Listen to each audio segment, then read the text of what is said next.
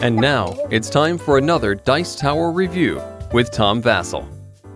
Hey folks, today we're taking a look at four more teams for Kaosball. These are teams 5, 6, 7, and 8. We have the, uh, the New Victoria Klockwerks, the Salem Warlocks, the Port Royal Pirates, and the Moonshire Lycanthropes. Um, so these are four boxes. In each box, you will open the box up, and it will come with a tray of the miniatures for that, that box and a board for that one, along with a die. You don't need these dice at all, but they're here for turn order, start play, or whatever. They're cool. And possibly some extra stuff. And let's see, in this set, the Warlocks have something extra in their box. These, these four are some of my favorite teams. Let me show you why.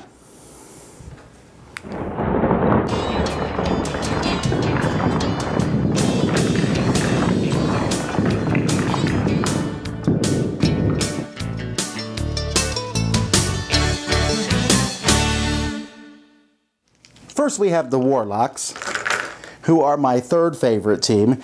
And the Warlocks, they have three and two, so pretty low hit points, um, but they have the one in tackling and one in fighting, but they have the curse. They're one of the few uh, teams that actually comes with an extra token here, a frog token. And once per period, if you lose a contest, you can turn the opponent into a frog token until the end of the period. They have two life, they have no team, no ability. They cannot tackle, attack, score, or handle the ball.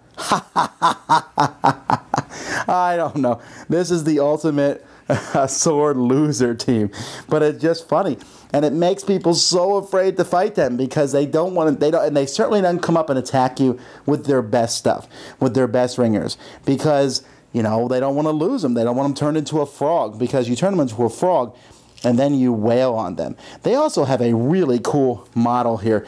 I really like how this, well, this guy here who's apparently holding a couple fireballs, although the model looks like he's holding globes, but this guy here, I really like how they modeled this so he's really just going after someone. Really, you know, he's shooting a fireball, but we've also made him throttle people and, you know, choke people and tackle people. It's just a figure that I like quite a bit. And here's my second favorite team, the Pirates, who seem to be coincidentally yellow and black. Eh. Anyhow, they got 3 and 3 health, which is great, and their stats are great 2, 1, and 1. With that, what more do you need? Well, they have looting. Every time they win a contest, they get another gold. Now, I think they're not worth using if you're just playing the basic game, but you should be playing the basic game anyway. Um, but because during the, the beginning of the round, when you're buying special abilities and ringers, I spent all my money every time with the Pirates because every time you, you win a contest, you get a cash. You'll win some contests, especially with these stats over the course of the game, which means you can play all the cheating cards you want. Really cool. And I also like their models a lot. The the runner's okay, um, but the I really enjoy the bruiser with the cape and has the little something on his shoulder is that a pirate? No, that's his ponytail. well, there goes that idea. But anyway, I really like these models. They're really cool models, and it's just it's a fun faction to play, and one of the ones I've seen played the most. And of course, we have to have a steampunk faction in here. Now, for me, out of the factions, this is the Klockwerks are my number 11 faction, but they have this overload ability. Now, their, their stats, they have three and two, and they got one in handling and one in fighting. But before they start a contest, they can overload. And any card that has a star on it, those ones that you can double, are double, but they can double without having to play it. So the problem is if they win it, they take a damage. But still, the fact that they can declare that anytime is a neat ability. So hooray for the, the clockwork people.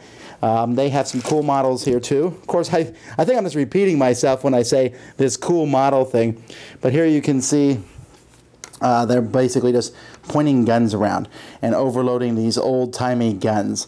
So here's the guy in the top hat and his uh, courtly companion. And here is my favorite team the lycanthropes, or as everyone calls them, the werewolves. And the werewolves are great because their special ability, I mean, they have three in, uh, hit points and two hit points and one handling and one tackling. They're not even that great at fighting. The fact, though, is, is their special ability is the shape-shifting ability, which says, before I activate a figure, I can switch him to a runner. Before I activate a runner, I can switch him to a werewolf. That is absolutely fantastic.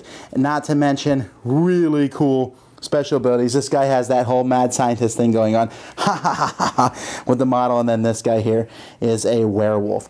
Love these guys, love the ability to switch, gives you so much versatility. Just a great team all around.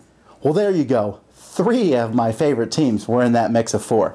I Again, no, that just because I like them doesn't mean everyone else Well, Maybe not everyone will like the werewolf. So, like, well, switching back and forth isn't much of a special ability. Well, to me, it is. Turning someone to a frog, yeah, I like that. And again, I just like to reiterate how I think it's so neat that there's so many teams here, and they're really not that differentiated from each other except that special ability can make all the difference in the world. Or you can just pick a team based on how much you like it. I'm, I'm sure the steampunk team is going to be very popular. People, the Klockwerks are going to do well because people like steampunk.